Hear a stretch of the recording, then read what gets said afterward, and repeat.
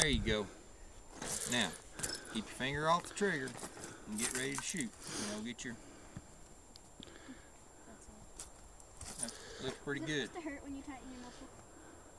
It, the sharp point might just a little bit. You got it cocked back and everything?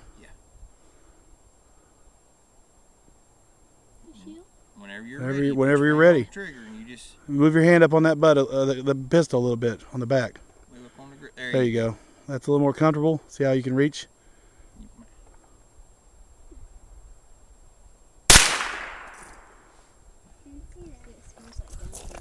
Mm -hmm.